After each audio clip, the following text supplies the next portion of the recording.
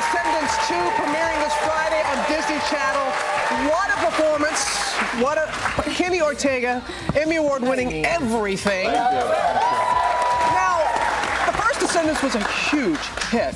100 million people saw that first one. You know okay, that, yeah? so how do you elevate that? Uh, by going on six networks all on the same night. That's how we're going to do it. Really? Yeah, we're there for everybody this time. ABC, Lifetime, Lifetime Movie, Freeform, Disney XD, and Disney Channel, of course. Wow, and this wonderful cast. I heard you uh, warming up about 4 o'clock this morning. yeah, the whale noises like that. But it's totally worth it. And what, what, what do you hope that people will get out of this the second time around? You know, I just hope people fall in love with the story. We worked so hard. The musical numbers are incredible. I just feel, we all feel so lucky to be a part of the project and so thankful to all the fans for Yes, making yes, it happen. yes. Thank you guys. You as well?